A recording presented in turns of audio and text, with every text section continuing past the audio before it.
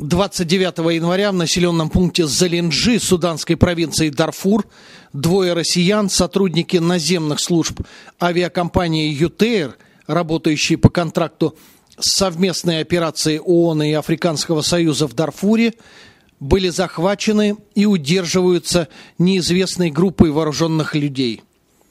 Сразу же после инцидента МИД России установил через посольство России в Хартуме и постоянное представительство Российской Федерации при ООН в Нью-Йорке тесное взаимодействие с секретариатом ООН, совместной операцией ООН и Афросоюза в Дарфуре и властями Судана в целях скорейшего и безопасного освобождения российских граждан.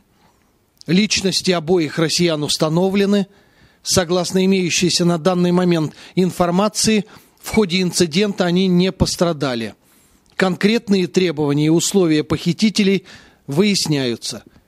Суданскими властями сформирован оперативный штаб по освобождению похищенных россиян в составе представителей служб безопасности, военной прокуратуры Судана и властей провинции Дарфур.